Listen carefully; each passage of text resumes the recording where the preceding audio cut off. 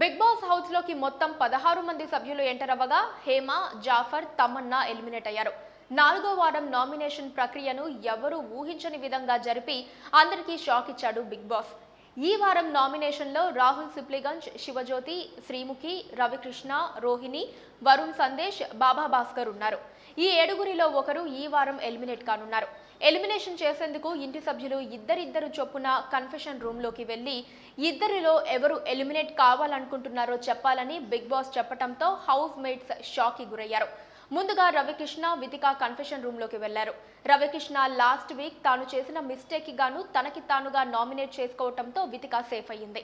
రోహిణి శివజ్యోతి కలిసి వెళ్ళగా ఇద్దరు ఒక ఒప్పందం కుదుర్చుకున్నారు. దీంతో శివజ్యోతి నామినేట్ అయింది తర్వాత వరుణ్ మహేష్ వెళ్ళారు. ఇద్దరి మధ్య కాసేపు వాదోపవాదాలు జరిగాక వరుణ్ నామినేట్ అయ్యాడు.